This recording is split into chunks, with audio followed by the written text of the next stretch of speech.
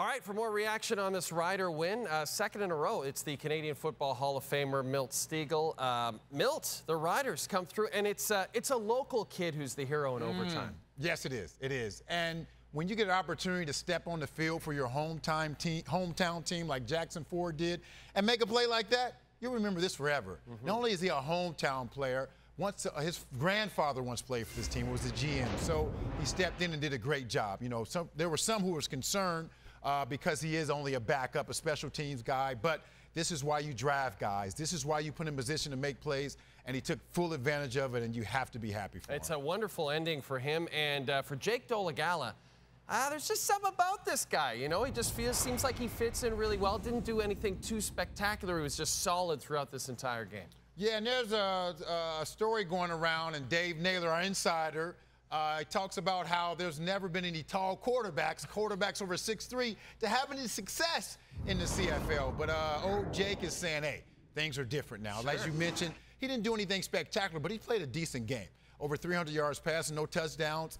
Uh, no interceptions. He played solid enough. And this is two games in a row where you beat two elite defenses, BC and Winnipeg, back to back. That says a lot about you. So now he has to continue to ride this momentum. You can't rest on, yeah, okay, we did beat those two teams. You have to continue playing well because you're trying to put yourself in a position to get a home playoff game. So it's good for him, good for those other players, but most important, it's good for those fans because you know they stick around and they love a winner in the in the province of Saskatchewan. Oh boy, do they ever end! Uh, it was great to see the game sold out today too. Yep, Love to see yep. those fans in the stands.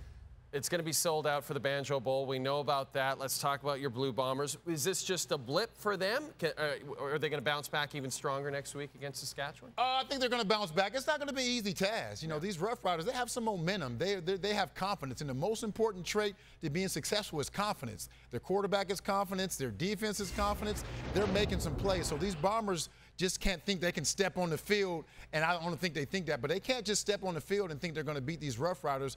Uh, it's going to be a little bit easier because they are playing at home. Yep. They have those fans behind them. But it's going to be a difficult task for them to, uh, to beat these Rough Riders. But we're all looking forward to it. The Banjo Bowl.